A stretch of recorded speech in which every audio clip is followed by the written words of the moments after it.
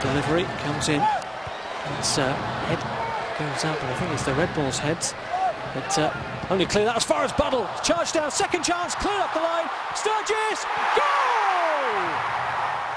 Nathan Sturgis at the third time of asking, and the Rapids lead in the second minute of the second half, and it's Nathan Sturgis with goal number four for the season. The Rapids are up and running.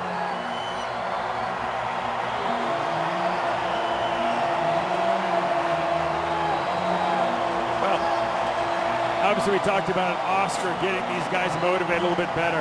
Set piece in, I tell you what, this was a scramble. Robles does a nice job there. Then he backs up. Everybody's like, why isn't he going for the ball? But it drops down. Looking at. Tim Buddle rips it and hits off a Rapids player. There, another one saved out the fine. Finally, it drops to Sturgis, and he doesn't even think twice. He puts it up high. He's like, I'm not putting this low.